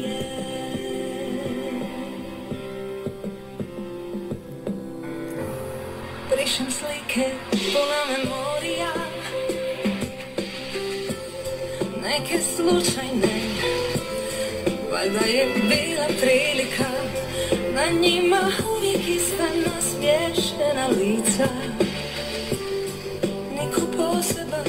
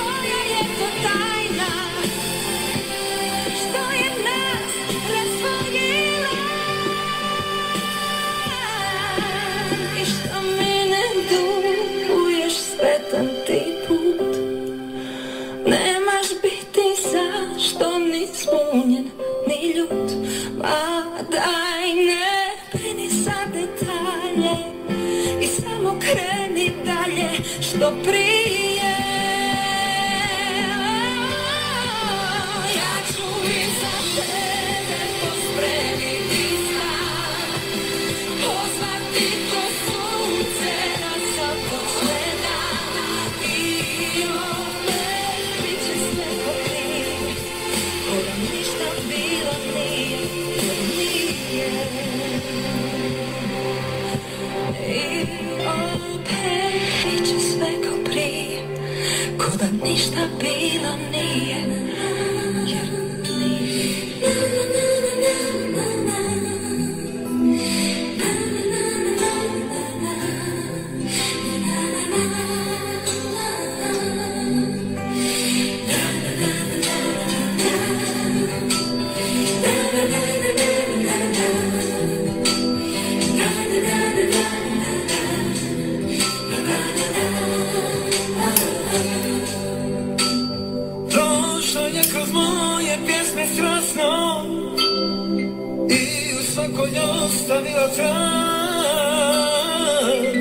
Shvatio sam, ali je bilo kasno